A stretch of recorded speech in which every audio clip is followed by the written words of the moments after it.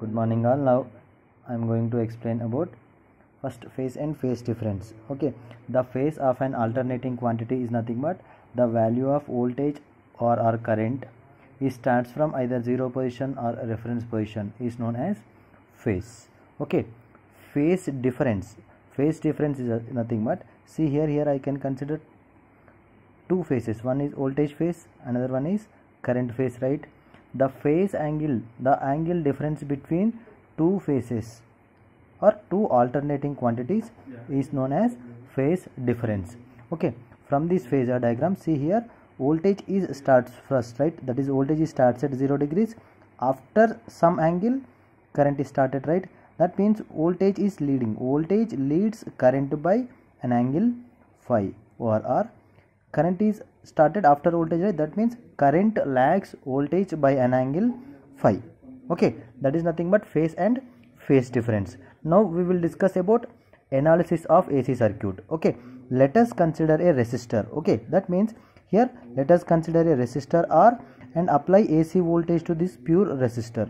Okay here instantaneous value of voltage is v is equals to vm sin omega t. Okay from this equation because of this voltage current i is flowing into the circuit right? Current i is equals to v by r. That is equals to vm sin omega t divided by r right? Then current value is i is equals to vm sin omega t by r can be written as vm by r into sin omega t. V by r is nothing but im right? That is i is equals to im sin omega t. That is assume equation number 1 here v is equals to vm sin omega t is equation number 1 from equation 1 and 2 voltage and current are in phase. That is nothing but there is no phase angle difference between voltage and current. Okay. If i draw the phasor diagram see here this is voltage phasor and in this phasor only current is placed. That means voltage and current are in phase. The angle between voltage and current or the cosine of angle between voltage and current is nothing but power factor angle. In case of pure resistor this angle will be 0 0 degrees. Now you can see here phi value is 0 degrees. If we draw the waveform this is the magnitude of voltage. Okay this is the magnitude of current. The magnitude of current is less. Why? Because already we know that current i is equals to v by r right? For example ac voltage is 230 volts. Okay current is 10 amperes. Sorry ac voltage is 230 volts. See here here voltage and current both are in phase. Okay now see here the magnitude of voltage is more when compared to current. Why? Because current i is equals to v by r right? Assume v value is 230 and resistance value is 10 then current magnitude will be 23 right? That will be represented waveformatically. Okay here phi value is 0 degrees.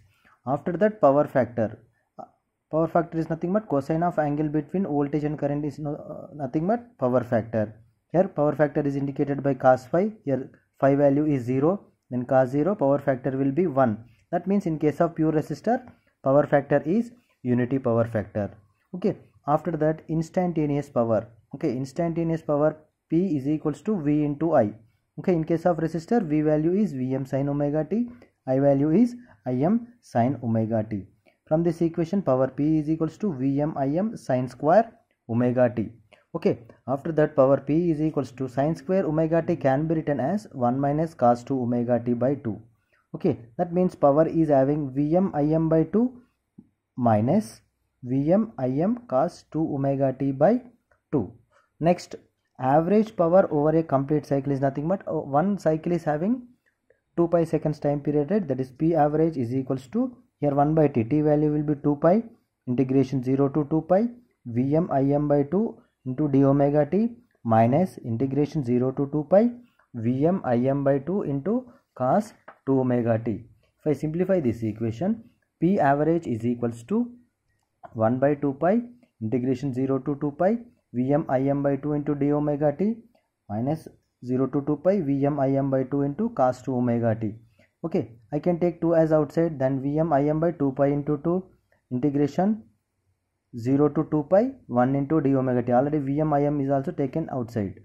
Minus integration 0 to 2 pi cos 2 omega t d omega t. That is vm im by 4 pi. Integration of 1 will be omega t substitute upper limit that will be 2 pi.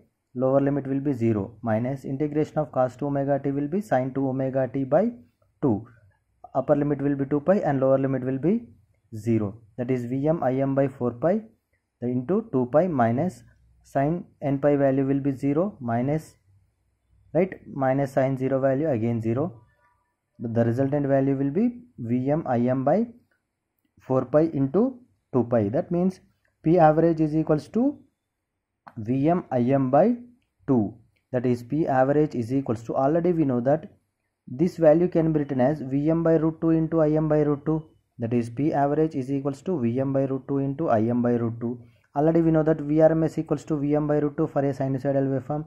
Irms equals to im by root 2 right? Then average power in case of pure resistor is vrms into irms.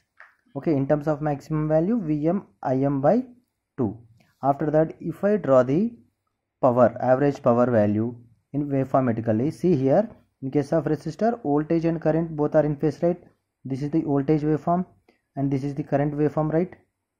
Now see here here voltage is positive current is positive. That means product of voltage into current is nothing but power right? That means in this way you will get power. After that from up to this pi from pi to 2 pi voltage is negative current is negative right? Minus into minus you will get plus. Then power value will be you will get positive only. Okay that is the waveform in case of pure resistor. Okay. Thank you. All remaining we will see next class